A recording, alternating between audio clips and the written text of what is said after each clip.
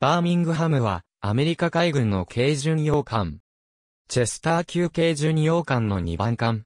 艦名は、アラバマ州バーミングハムにちなむ。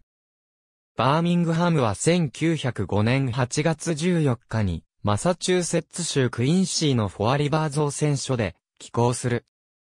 1907年5月29日にエルアンダーウッドによって浸水し、1908年4月11日に BT ワーリン艦長の指揮下収益する。収益後は1911年6月27日まで大西洋艦隊で活動し、その3日後にボストンで予備役となる。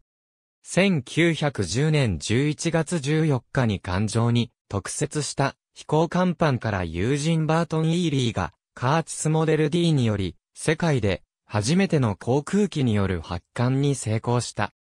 1911年12月15日に再収益したバーミングハムは西インド諸島への短期巡航を行った後、1912年4月20日にフィラデルフィアで大西洋予備役艦隊に帰還する。1912年5月19日から7月11日まで、寒冷地偵察を行った後、フィラデルフィア予備役グループに戻る。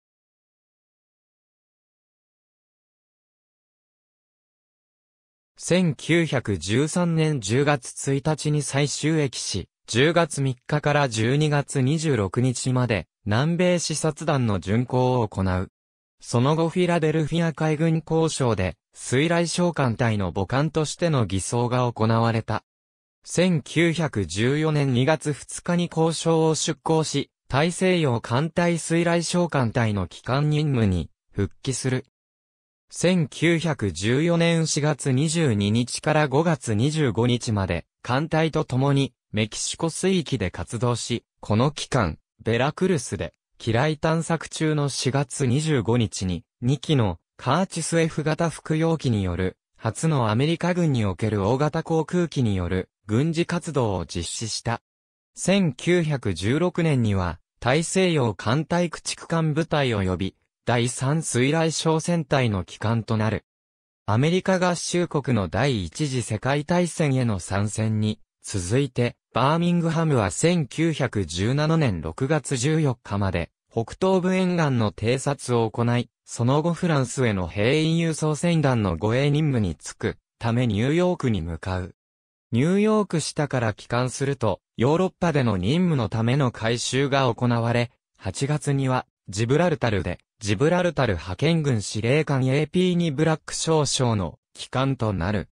バーミングハムは休戦まで、ジブラルタル、イギリス諸島、フランスの間の輸送船を護衛した。地中海東部への短期巡航後、1919年1月に帰国した。1919年7月から1922年5月まで、バーミングハムはカリフォルニア州サンディエゴを拠点として、太平洋艦隊駆逐艦船隊の機関任務につき、その後パナマ運河地帯のバルボアへ移動。特別任務戦隊の機関となる。中央アメリカ、南アメリカ北部沿岸での活動後、フィラデルフィア海軍交渉に帰還し、1923年12月1日に退役、1930年5月13日にスクラップとして売却された。ありがとうございます。